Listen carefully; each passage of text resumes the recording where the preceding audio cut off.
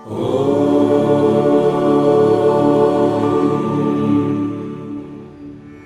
माँ काली आज मेरे पास एक कॉल आया। अक्सर ऐसे कॉल आते हैं, लेकिन मुझे आज की बात याद है तो बता दूँ, एक कॉल आया कि आज उनका परिवार का एक सदस्य आईसीयू में है और डॉक्टरों ने बिल्कुल हाथ खड़ा कर दिया है कि अब ईश्वर ही महादेव, ही या माँ ही जाने। तो जब ऐसी स्थिति आपके पास आ जाए तो आप एक बार मुझसे ज़रूर संपर्क करें। मैं ऐसा कुछ तांत्रिक यंत्र दूँगी, उसे हानि तो बिल्कुल नहीं होगा, फ़ायदा ज़रूर हो जाएगा।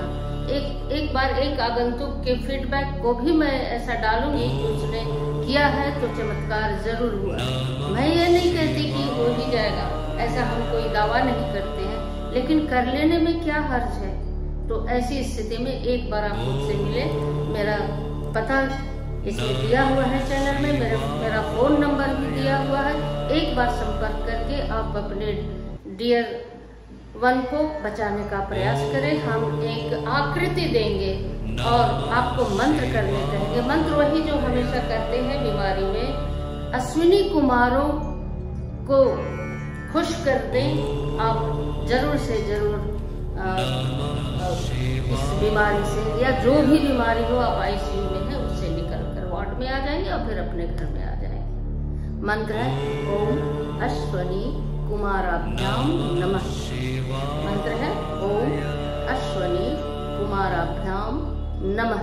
तो इस मंत्र से आप आईसीयू में जो बड़े हैं, जो बड़े बूढ़े बच्चे, बुज़ुर्ग, उनके लिए यह आप करके कोशिश कर सकते हैं कि वो वहाँ से वापस आ जाए। ईश्वर है कभी कभी चमत्कार करते हैं, आपके जीवन में भी ऐसे चमत्कार हुए होंगे। तो बिल्कुल इसे इनकार नहीं किया जा सकता है, क्योंकि जो चीज़ को हम जानते नहीं है, वो नहीं है, ऐसा नहीं कह सकते। जो हम जानते हैं, मात्र वही है इस दुनिया में, ऐसा नहीं है। जो हम, बहुत सी ऐसी बातें जो हम नहीं जानते हैं, लेकिन वो चीज़ है।